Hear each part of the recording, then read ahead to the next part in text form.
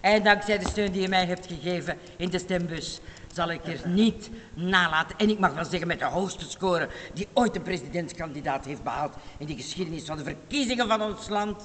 Dat we in naam spreken van alle Colombianen wanneer we zeggen dat we willen kunnen kiezen.